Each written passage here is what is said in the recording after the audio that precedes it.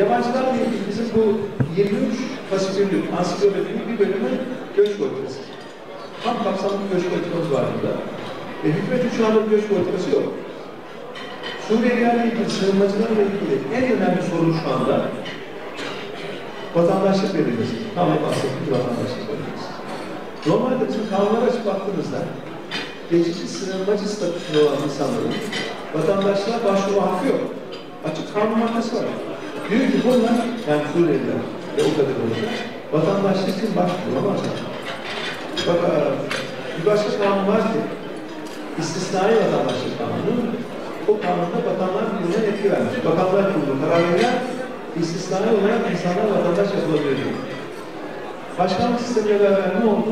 Bakanlar kurulunun bütün yetkisi Cumhurbaşkanı'nın şahsına devredildi.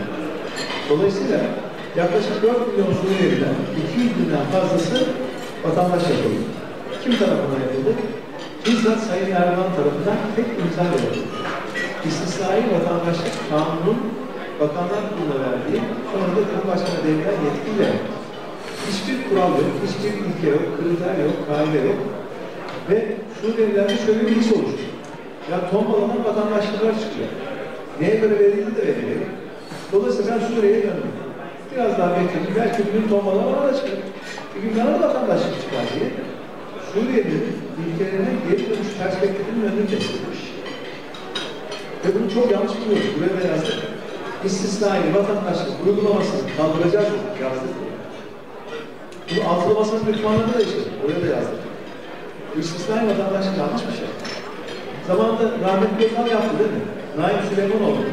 O zaman Bulgaristan'daki bizim soydaşlarımızda da çok ciddi zulüm vardı, sıkıntılar vardı.